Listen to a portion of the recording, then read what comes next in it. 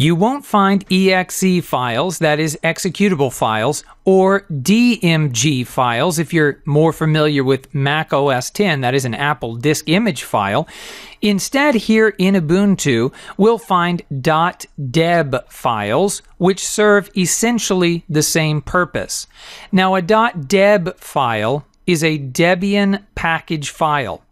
Debian is a version of Linux that came before Ubuntu on which Ubuntu is based. So Ubuntu is a Debian based operating system. Therefore, we can install Debian packages in Ubuntu. In this module, we'll specifically be looking for Google Chrome downloading the .deb file, that's a .deb file, and installing it through the Ubuntu Software Center. Let's navigate now to google.com forward slash Chrome to bring up the Google Chrome homepage in Mozilla Firefox. Here on the Chrome page, we can download the application and it automatically knows that we are running Ubuntu and therefore you see here our options.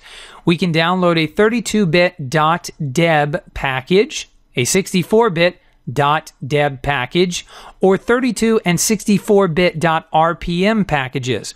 Do not download the RPMs as they will not work on Ubuntu. An RPM package is going to work on Fedora, OpenSUSE, Red Hat, CentOS, other such versions of Linux. But for Ubuntu and all other Debian based operating systems, we'll be downloading the .deb package. Now remember whether or not you installed the 32-bit version of Ubuntu or the 64-bit version of the operating system. I installed the 64-bit version and so I'll be downloading the 64-bit .deb package for Google Chrome. Now we can accept and install. And remember that this end user license agreement is a part of why Google Chrome is not available in the Software Center. We want to save this file and it will automatically be saved in our downloads directory. So once this download completes, I'll show you how to navigate to your downloads directory. Our download is now complete. And so we'll navigate to our downloads directory by launching Nautilus over here, our file manager by default in Ubuntu. And we'll click on downloads and find Google Chrome Stable Current AMD64.deb. If we double click on this package, you'll notice that the Ubuntu Software Center automatically opens and it will automatically load that Debian package file. Notice the warning here to only install this file if you trust the origin. We do trust the origin because we know we got it from the Chrome homepage, and so we'll click the install button.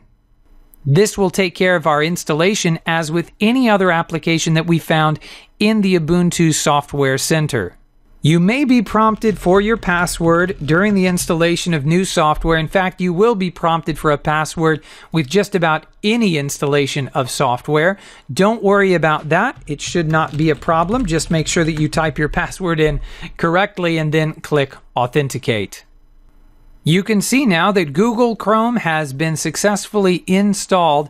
You can also see the message that this program is run from a terminal and the code in order to run it from a terminal.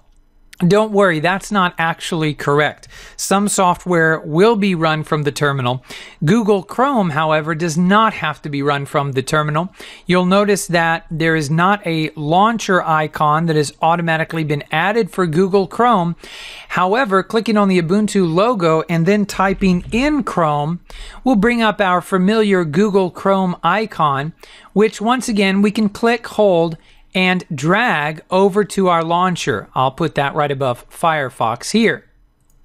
Now we can open up Google Chrome by clicking on the icon and it will ask, as is standard on any operating system, whether we want to make Google Chrome the default browser. I'm going to uncheck that as I prefer Firefox. And we can also choose whether we want to automatically send usage statistics and crash reports to Google. Yet again, I'll say this is one of the reasons that Google Chrome is not found in the Ubuntu Software Center. Some people consider this feature tantamount to spyware. Now, I don't think it's anything to worry about personally, but that's just helping you understand why Chromium is in the Ubuntu Software Center and not Google Chrome itself. I'll go ahead and check that box, hit OK, and you can see that Chrome has launched here in Ubuntu Desktop 14. So, what about that message that said we needed to run Google Chrome from a terminal? Well, we know that's not true. We found our Google Chrome icon and we were able to launch it using our graphical user interface. However, as I am trying to ease you into the use of the terminal, go ahead and Control C to copy this line Google Chrome stable or you can memorize it. It's not that long. Open up a terminal. And now with Control Shift V, you can paste that in and hit enter. And you'll notice that in the background, Google Chrome has launched. So that is one way that you can start Google Chrome from the terminal. And in fact, you can start any application from the terminal. I've already told you that our file manager is called Nautilus. If we want to start Nautilus, we can type Nautilus into the command line and hit enter.